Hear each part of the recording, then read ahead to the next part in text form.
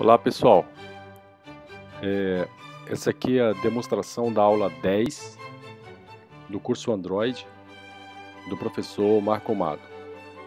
O objetivo dessa aula é iniciar aí como criar um CRUD, ok?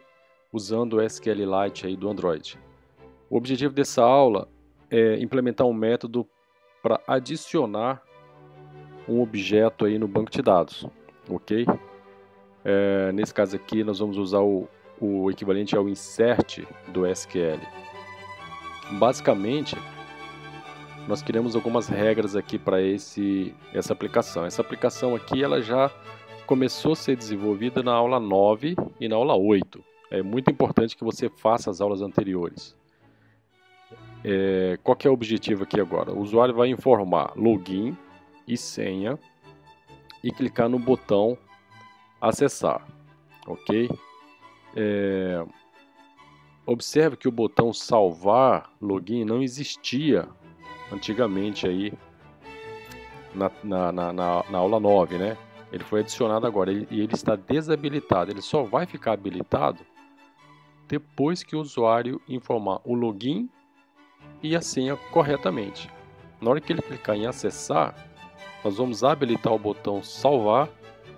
Clicando no botão salvar, os dados vão ser salvos no banco de dados e a gente troca de tela.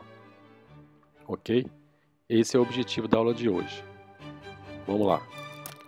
Então vamos testar a aplicação. As informações que devem ser fornecidas aqui é o seguinte: aula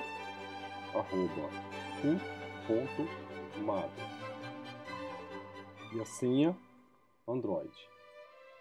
Clicando no botão acessar, ele habilitou o botão salvar, ok? Na hora que eu clicar em salvar, ele vai gravar os dados do banco de dados. Dados adicionados com sucesso e a nossa tela dashboard foi carregada, ok? Vou finalizar a aplicação vou mostrar para vocês os dados que foram gravados no banco de dados. Tá certo, pessoal? Vamos lá. Pessoal, essa ferramenta aqui é o Android Device Monitor.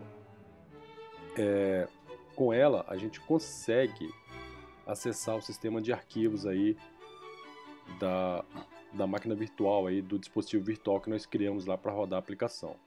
O banco de dados, ele fica gravado. Primeiro você tem que selecionar aqui o dispositivo. No caso, é, eu tenho um dispositivo ativo, né? É só selecionar. Vou clicar aqui em File Explorer, ok? Aqui você vai ver que nós temos um sistema de arquivo semelhante ao Linux, ok?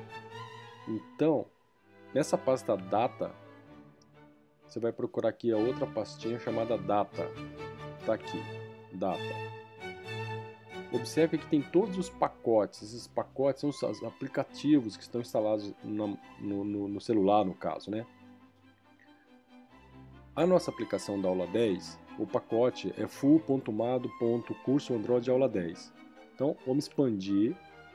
Observe que tem três pastas, Cache, Database e Lib. Vamos expandir Database. Está aqui o banco de dados que foi criado, db,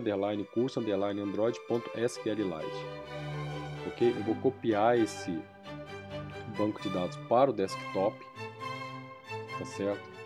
Para mostrar para vocês aí depois com a ferramenta de gerenciamento aí do SQLite os dados que foram gravados lá no teste que nós acabamos de fazer. Então vamos lá. Bom, agora vamos visualizar os dados que foram gravados aí no banco de dados, certo? Você pode usar qualquer ferramenta para acessar o SQLite ok? No caso aqui eu estou usando uma ferramenta free. Então vamos lá. Aqui está o banco de dados, eu já fiz backup, né? Agora eu ensinei vocês como é que faz backup aí, usando o Android Device Monitor.